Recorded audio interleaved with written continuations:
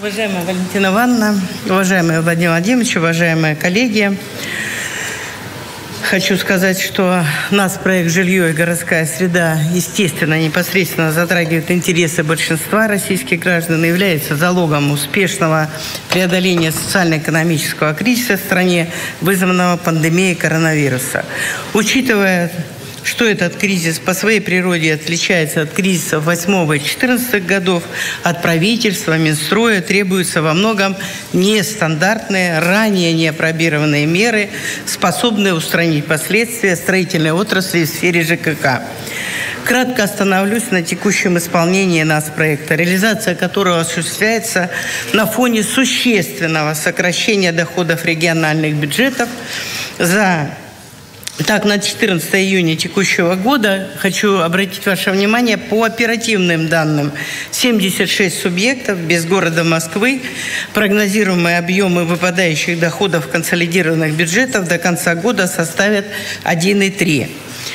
Как и в предыдущем году, отмечается недостаточно высокое кассовое исполнение по расходам федерального бюджета, которое на 1 июня текущего года составило только 41 миллиард.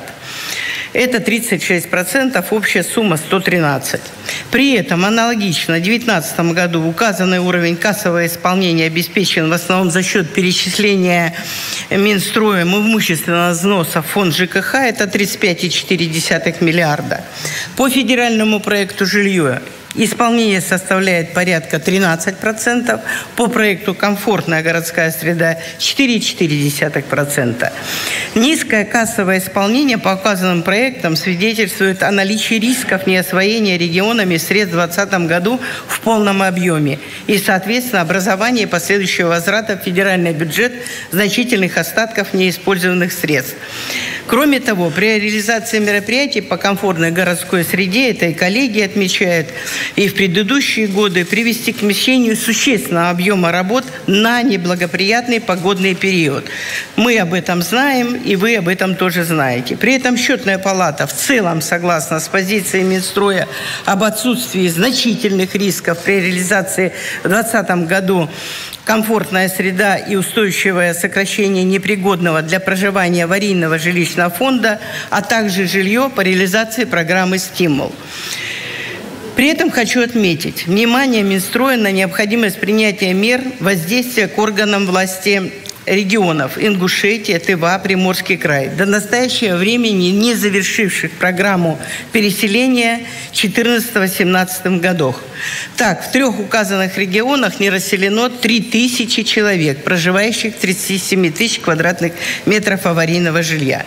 Счетная палата также неоднократно высказывала замечания по поводу действующей методики, но сейчас здесь в зале как раз было обсуждение, коллеги это поднимали, разница между стоимостью квадратного метра по методике Минстроя фактической стоимостью в регионах отличается. К примеру, Сахалинская составляет 55, в Крыму 61%, процент, Нижегородская 67, в Алтае 71.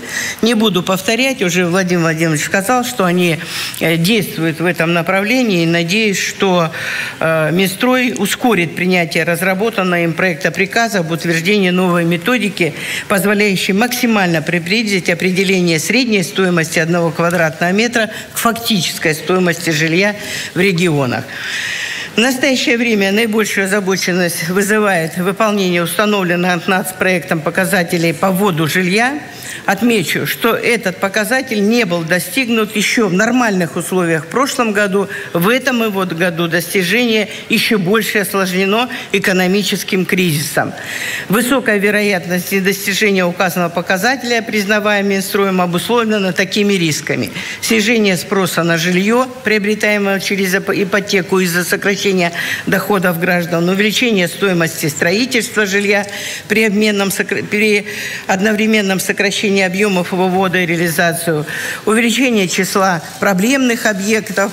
Мы понимаем, мы недавно посмотрели фонд, э, то, что касается дольщиков, там есть серьезные проблемы. И, конечно, один из элементов, который Минстрой должен заняться, и сейчас сказал об этом Владимир Владимирович, это общенациональный план по восстановлению мер экономики, меры приняты, деньги выделены, э, суммы приличные. И то, что касается индивидуального жилищного строительства, считаем, что это может стать локомотивом, потому что эта тема сегодня после кризиса востребована. Спасибо большое.